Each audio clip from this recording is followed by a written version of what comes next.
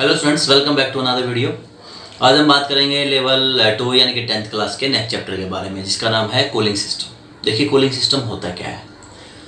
देखिए, हमने पहले लुब्रिकेशन सिस्टम पढ़ा था, जो कि हमारे घर्षण को कम करता है। अब हम बात करेंगे कूलिंग सिस्टम की। देखिए, जब हमारी गाड़ी लगातार चलती रहती है तो क्या होगी? गर्म हो जाएगी। तो हमें अपनी गाड़ी को अत्यधिक गर्म होने से बचाने के लिए कूलिंग सिस्टम की ज़रूरत पड़ती है। देखिए कूलिंग सिस्टम का मतलब होता है, वैसे तो देखिए कूलिंग का मतलब होता है ठंडा करना। लेकिन यहाँ पर हम बात करेंगे, इंजन का जो टेम्परेचर है, उसको मेंटेन करने की। यहाँ पर हमारे कूलिंग सिस्टम जो है, इंजन को ठंडा नहीं करता है।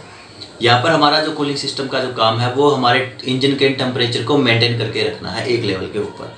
जैसे कि हमारा जो इंजन का वर्किंग टेम्परेचर है, वो seventy degree to eighty degree रहता है। ठीक है? तो हमें वही मेंटेन करके रखना है। तो उसमें हेल्प करता है हमारा कूलिंग सिस्टम जो कि सेवेंटी डिग्री से नीचे भी नहीं होने देता और 80 डिग्री से ऊपर भी नहीं होने देता। ठीक है? तो अब आइए बात करते हैं हमारे कूलिंग सिस्टम के बारे में। फिर से मैं आपको ये रिपीट कर देता हूँ कि जो कूलिंग सिस्टम है, वो हमारे इंजन के टेम्परेचर को मेंटेन करके रखता है। मेन डेफिनेशन इसकी यही आपने याद रखनी है।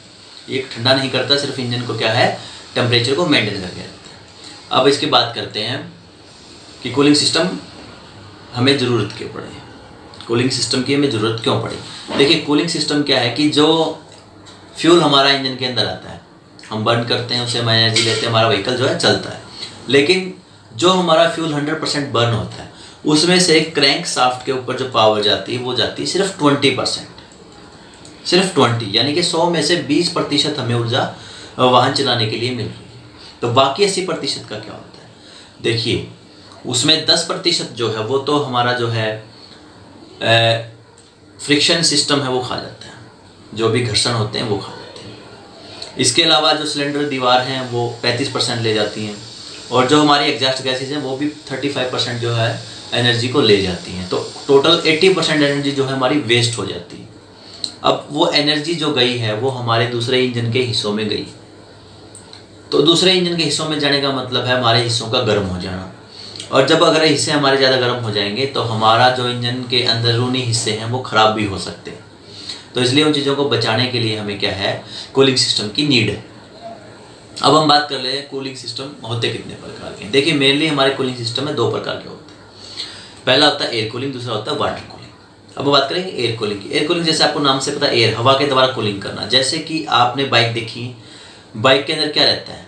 आपका इंजन है, आप जैसे देख सकते हैं इंजन के बाहर की तरफ़ फिन्स बनी होती हैं एयर फिन्स जैसे आपकी व्हीकल चलेगी आप हवा से टकराव होगा इंजन का और आपकी जो एनवायरनमेंट की एयर है, वो आपके इंजन की जो एक्स्ट्रा हीट है, उनको अपने साथ बहा ले जाएँगी। हीट का एक सिंपल सा फंडा है सिंपल सा फॉर्मूला है कि हीट हमेशा हॉट टू कोल्ड वेदर में ट्रांसफ़र होती है। ठीक है? अगर कोई गर्म चीज़ उसके साथ ठंडी रखेंगे तो गर्म चीज़ जो है, अपनी हीट ठंडी चीज़ में ट्रांसफ़र कर दें दोनों का जो टेम्परेचर है, वो बराबर हो जाएगा। तो हमारे इंजन का टेम्परेचर क्या रहता है? सत्तर से अस्सी डिग्री और जो एनवायरनमेंट की जो हवा है, चाहे गर्मी हो तो भी वो फोर्टी फाइव डिग्री या सिक्सटी फिफ्टी डिग्री रहेगा। उसके बावजूद भी हमारे इंजन को वो हवा क्या कर देगी? टेम्परेचर उसका मेंटेन करके रखेगी। तो ये था एयर कूलिंग सिस्टम जो कि टू व्हीलर्स हैं मेनली उनमें यूज़ किया जाता है और ऑटोज़ में भी यूज़ किया जाता है। अब हम बात करेंगे वाटर कूलिंग की। वाटर कूलिंग क्या है? वाटर कूलिंग का मतलब पानी। यानी कि पानी से हमारे इंजन की जो एक्स्ट्रा हीट है, उसको कम करना। तो इसके अंदर जो कंपोनेंट्स हैं, हम उसकी बात कर लेंगे। सबसे पहले हमारा जो कूलिंग सिस्टम का जो हिस्सा है, वो है रेडिएटर ठीक है जी? फिर है रेडिएटर फ़ैन ठीक है जी? उसके बाद है रेडिएटर कैप ठीक है जी? उसके बाद है वाटर पंप उसके बाद है थर्मोस्टेट उसके बाद है बाईपास प्रणाली, उसके बाद है फ्रीज प्लग और उसके बाद है हेड गैसकिट और उसके बाद है रबड़ होज या हम कह सकते हैं पाइपलाइन वर्किंग क्या होगी कि जैसे देखिए, सबसे पहला रेडिएटर जो है, उस रेडिएटर का काम क्या है हम आपको बता देते हैं. रेडिएटर क्या करता है? जो इंजन से पानी गर्म होकर हमारे पास आया है तो वो सारा का सारा पानी कहाँ जाएगा? रेडिएटर के अंदर. जब रेडिएटर के ऊपर से नीचे की तरफ़ पानी जा रहा होगा तो सामने से आ रही हवा जब उसमें से क्रॉस करेगी तो हमारे गर्म पानी को क्या कर देगी वो? ठंडा। और फिर से वापस कहाँ भेज दिया जाएगा? इंजन के अंदर। तो रेडिएटर का काम क्या है? हमारे गर्म पानी को ठंडा कर देना हवा की सहायता से। अब हम बात करेंगे रेडिएटर फ़ैन देखिए जब हमारी गाड़ी चल रही है तो तो सामने से हवा आ रही है हमें कोई दिक्कत ही नहीं है। आ, हमारा जो गर्म पानी वो ठंडा हो जाएगा। लेकिन जब हमारी गाड़ी खड़ी है तब सामने से हवा नहीं आ रही लेकिन चल तो हमारा इंजन तब भी रहा है। तब हम कैसे करेंगे? तो तब देखिए, जो हमारा रेडिएटर फ़ैन है, वो रेडिएटर के पीछे लगा होता है। तो वो चलना जो है स्टार्ट कर देता है। तो सामने से हवा जो है खींचता है। तो वो सारी हवा रेडिएटर की तरफ़ से होकर के आती है। रेडिएटर जो फ़ैन है, ये इलेक्ट्रिकल ऑपरेटेड होता है। आजकल की सभी गाड़ियों में इलेक्ट्रिकल ऑपरेटेड आपको ही मिल जाएगा। इसके बाद हम बात करेंगे रेडिएटर कैप की। रेडिएटर कैप क्या है कि देखिए जो प्रेशर है, उसको बढ़ाने के मेंटेन करने के लिए यूज़ किया जाता है। और जो उसके अंदर टेम्परेचर बढ़ रहा है। उसको मेंटेन करने के लिए इसका यूज़ हम कर जो हमारा रेडिएटर सिस्टम है, उस पर बिल्कुल सीलिंग का ये काम करता है। इसके बाद हम बात करेंगे वाटर पंप वाटर पंप क्या होता है? वाटर पंप जो, देखिए सिंपल सी बात है।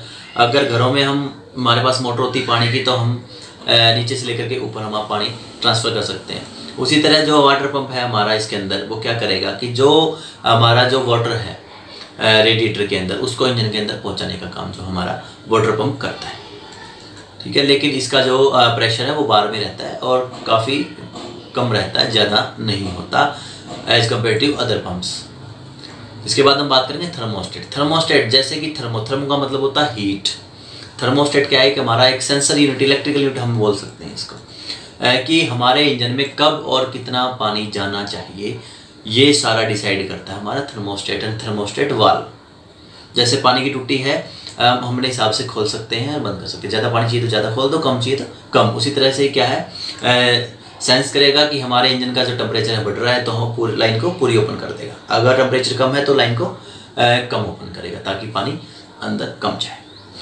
आगे हम बात करेंगे बाईपास प्रणाली। बाईपास प्रणाली क्या है? ये एक लेटेस्ट टेक्नोलॉजी है, पहले वाली गाड़ियों में ये नहीं होता था। अब क्या है, देखिए, जैसे पहले क्या होता था, हम गाड़ी पे किक मारते रहते सेल्फ मारते रहते थे, लेकिन हमारी गाड़ी जो है स्टार्ट नहीं होती थी। क्यों?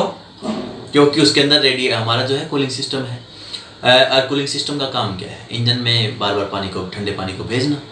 तो अब अगर ठंडा इन्वायरमेंट है तो हमारा इंजन तो जल्दी से हीट ले ही नहीं सकता, जल्दी से वार्म अप होगा नहीं। तो हमारा इंजन जल्दी स्टार्ट होगा नहीं। इसलिए बाईपास सिस्टम क्या कर दिया कि जब हमारी, हम गाड़ी स्टार्ट करते तो उसी टाइम हमारा कूलिंग सिस्टम भी काम करना शुरू कर देता है। लेकिन बाईपास सिस्टम आने के बाद क्या हुआ कि यदि इंजन में टेम्परेचर कम है और इंजन ने स्टार्ट करने की प्रोसेस स्टार्ट कर दी तो वहाँ इंजन के जो आसपास पानी है, वो इंजन से हीट लेके थोड़ा सा गर्म होएगा, लेकिन वो रेडिएटर में नहीं आएगा। रेडिएटर में नहीं आएगा, वो बाईपास ही रहेगा। बाईपास का मतलब इंजन से निकल के वापस इंजन में ही वो पानी जाएगा गर्म, ना कि रेडिएटर में जाएगा। क्योंकि रेडिएटर में जाएगा तो वो ठंडा हो जाएगा और हमारे इंजन को ज़रूरत है हीट की। तो अभी शुरुआत में हमें हमारे इंजन की जो हीट है उसको जल्दी से जल्दी जो टेम्परेचर को बढ़ाना है। इसलिए हम रेडिएटर में पानी ना भेज करके बाईपास वापस वही पानी इंजन में यूज़ करते रहते हैं जब तक हमारा engine seventy two eighty degree के टेम्परेचर के बीच में नहीं पहुँच जाता। अब बात कर लेते हैं पानी जो इसकी पाइपलाइन है उसके बारे में। देखिए जो रेडिएटर है रेडिएटर से लेकर के इंजन तक और इंजन से लेकर के रेडिएटर तक एक इनलेट एक आउटलेट ये जो पानी की लाइन्स हैं इस, इसको हम बोलते हैं होज रबड़ होज अब रहता है एक प्लास्टिक टैंक। हमारे पास एक प्लास्टिक टैंक भी रहता है आपने देखा होगा जिसके अंदर लो लेवल मीडियम और मैक्सिमम लेवल के निशान बने रहते हैं जैसा कि आप देख सकते हैं। देखिए जो टैंक है जो आरक्षित टैंक हम बोलते हैं वाटर रिजर्वियर वो क्या है? कुल्ड रिजर्वियर हम जो बोलते हैं उसमें क्या रहता है कि अगर जब गाड़ी के अंदर देखिए प्रेशर कैप की वजह से प्रेशर टेम्परेचर बढ़ता है ठीक है? तो वहाँ पर अगर कमाडिटी ज़्यादा हो जाती है लिंक की तो वहाँ पर टैंक के अंदर भेज देगा। लेकिन अगर जब उसको ज़रूरत पड़ेगी तो वो टैंक से वापस उठा के कूलेंट को उस पानी को रेडिएटर में भी ले आएँगे। ये दोनों यूज़ इसके रहते हैं। अब हम इसकी प्रोसेस की बात करें। प्रोसेस की बात करेंगे तो सबसे पहले क्या है? जब हम गाड़ी स्टार्ट करेंगे तो बाईपास सिस्टम ऑन रहेगा।